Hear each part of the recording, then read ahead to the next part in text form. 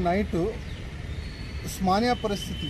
అంటే కొద్ది వర్షం పడితే దాదాపు ఓల్డ్ ఉస్మానియా మొత్తం మునిగిపోయింది. ఇవాళ నేను ఉస్మానియా హాస్పిటల్ విజిట్ కూడా వస్తున్నాను నేను మొత్తం చూసిన హాస్పిటల్ తిరిగిన. ఎక్కడ చూస్తే అక్కడ నీళ్ళు ఎక్కడ చూస్తే అక్కడ చెత్త. ఇప్పుడు నరేంద్ర గారు సుప్రీం గారు ఉండే ఆయనకి కరోనా పాజిటివ్ వస్తే పాపమైన హాస్పిటల్లో అడ్మిట్ ఉన్నారు. ఇప్పుడు దాని ప్లేస్లో ఒక పాండు నాయక్ అని ఒక స్టూడెంట్కి ఇక్కడ టెంపరీగా పెట్టినారు. ఆయనకి రెస్పెక్ట్ ఇవ్వాలని కూడా తెలియదు. అసలు నేను వాటర్ గురించి చెత్త గురించి చెప్తే కూడా మేము చేస్తున్నాం మేము చూస్తున్నాం. ఈ విధంగానైనా మాట్లాడుతుంది. ముఖ్యమంత్రి గారు మీకు యాదుండా? కోట్లు కోట్ల రూపాయలు పెట్టి నేను కొత్త హాస్పిటల్ కడతా ఉస్మానని మొత్తం మోడల్ హాస్పిటల్గా చేస్తా అని మీరు మాట ఇచ్చినారు. ఆ మాట ఏమైంది?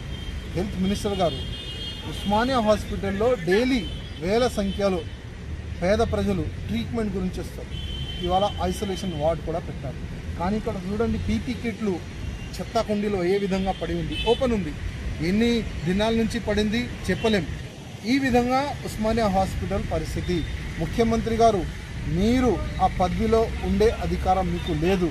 మీరు ఇవాళ మత్తులో ఉన్నారు. అంటే మీరు ఇవాళ నిద్రలో ఉన్నారు. నిద్ర నుంచి లేచి రండి. ప్రతి ఒక్క ఉస్మానియా హాస్పిటల్ కాకుండా ప్రతి ఒక్క గవర్నమెంట్ హాస్పిటల్ని మీరు విజిట్ చేయండి.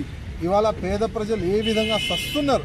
ఈ కరోనా వల్ల కానీ వేరే బీమారుల బీమారీల వల్ల కానీ ఎంతమంది వస్తున్నారు ఒక్కసారి మీ ఫామ్ హౌస్ నుంచి బయటికి వచ్చి మీరు అన్ని హాస్పిటల్ తిరుగుతాయి మీకు తెలుస్తుంది.